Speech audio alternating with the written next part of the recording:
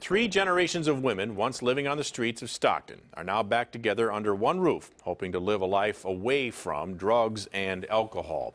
They are part of a program at the Gospel Center Rescue Mission. It helps end drug addiction and puts them back on track. CBS 13's Carlos Correa is in Stockton tonight with their story.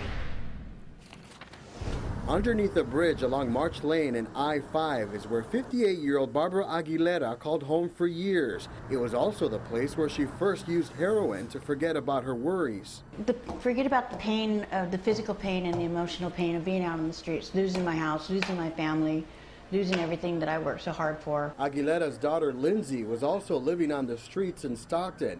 She became addicted to methamphetamine and even used during her pregnancy. After Lindsay's daughter was born, the courts told her to clean up or she would lose her parental rights. That's not something I was willing to give up. So, yeah, so it, it scared me into um, being able to surrender, um, to, to get clean, and um, that was the first time I walked into these doors.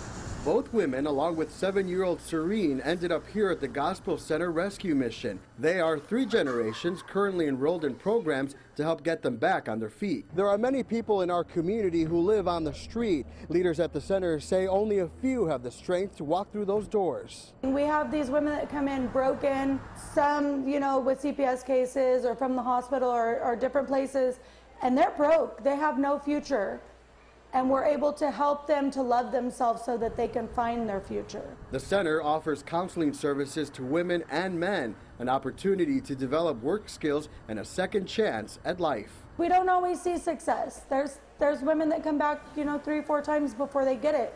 But when they do, it's all the better. It's amazing.